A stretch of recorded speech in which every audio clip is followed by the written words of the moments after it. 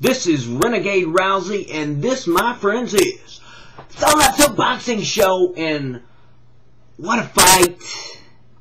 And what a fighter! The legend continues to grow with Manny Pacquiao. Unbelievable performance by one of the greatest fighters of all time. Now, I have not seen a lot of the great fighters, but I know that without a doubt that Manny Pacquiao is among the very elite that ever ever strapped on a pair of boxing gloves. This was a dominant performance, and I believe without a doubt that this fight could have been over a lot sooner if Miguel Cotto would not have had his will to fight broken.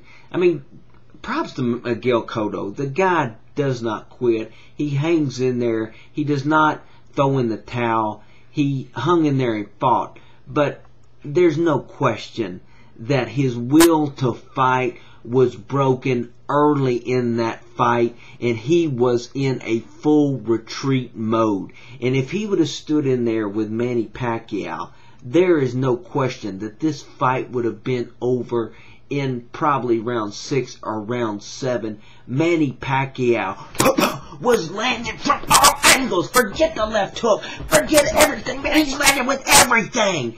I mean, a complete arsenal.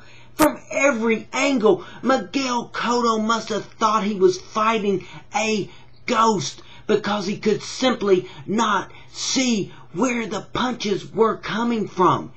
This man, Pacquiao, is a legend and he is a fighter to the core of his being. Man, I feel like I need to open my wallet and shell out another 50 bucks because I feel like I got too big of a bargain watching this fight by only shelling out 54 bucks. I mean, it is very seldom, and and I don't know if everybody believes this, but you're watching one of the greatest of all times.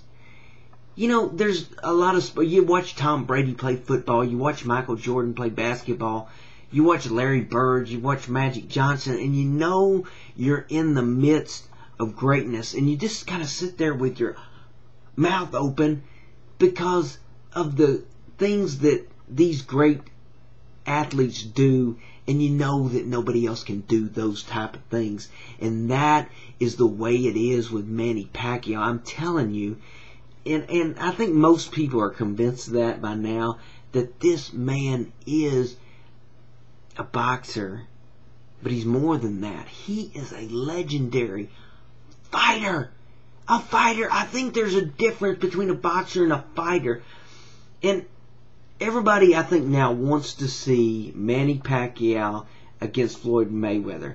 And to be honest with you, I don't know if Pac-Man wins that fight. I, I don't. I, I just don't know.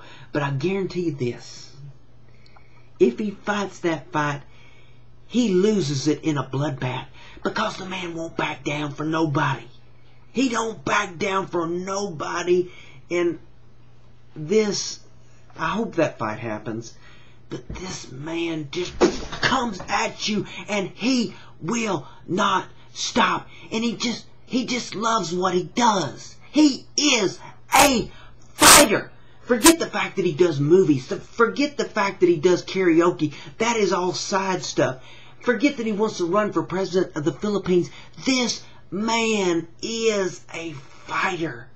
And oh man, I, am sorry, I love that. I, I, I, just simply, I love a fighter. You know, it, it means so much, and I'm telling you, man, this guy is something else. And and the thing of it is, is this, like I say, this could have been over a lot quicker, but Cotto had to retreat. He didn't.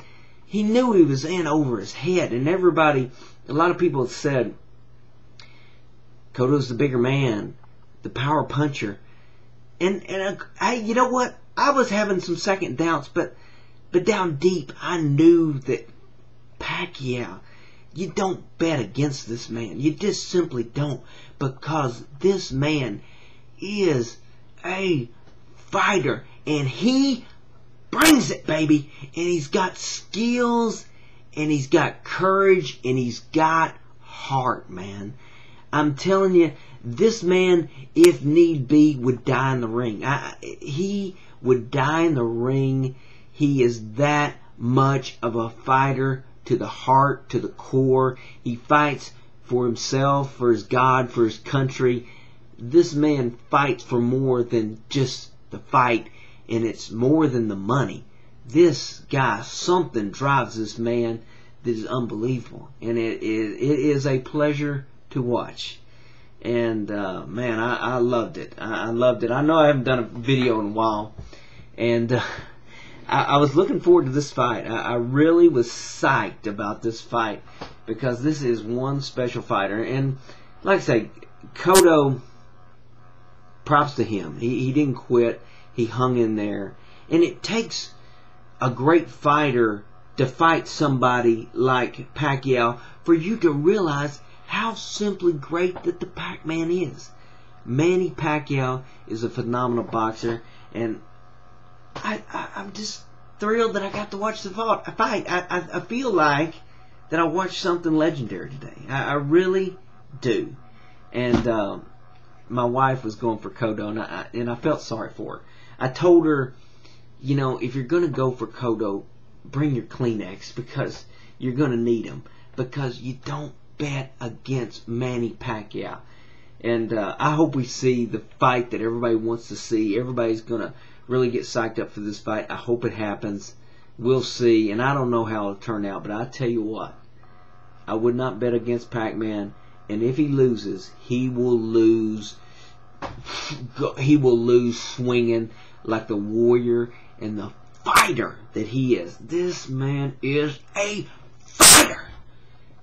This is Renegade Rousey after the fight, and man, I'm psyched.